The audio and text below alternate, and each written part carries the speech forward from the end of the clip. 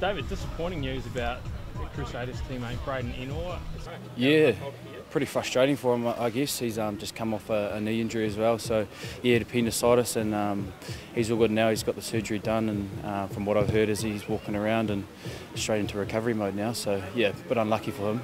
Um, I've seen him over the last couple of days, and he did say he was having a sore stomach, and yeah, definitely unfortunate for him. Like he's done so well to get back to where he needs to be, and to have that happen is really unfortunate.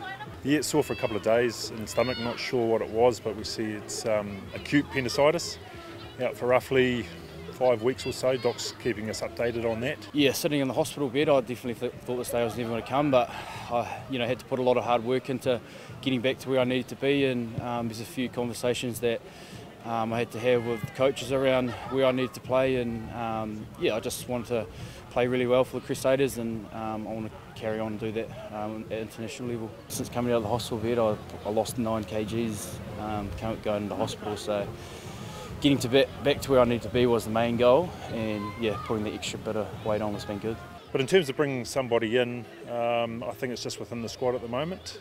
there's been no no indication of of anyone coming in, so we'll just work within the team and see how we go. Um, there's a number of options that can be played in the midfield, um, so yeah, go from there. There's immense competition in this team, and players just want to be on the field, so um, we'll get to see that in the next few days. Um, but I'm sure the selectors have clearly in their mind what the next progressions are. To be fair, at the time it was just like he said, "Oh, you're going to be playing 12," and I said, "Oh, oh well, yeah, all right, I'll give it a crack, and sort of just ran with it from there. It wasn't it wasn't anything about making the All Blacks. It was just about where can I do my best for the team, and at the time I was playing in the midfield. So starting wise, that hasn't even been talked about.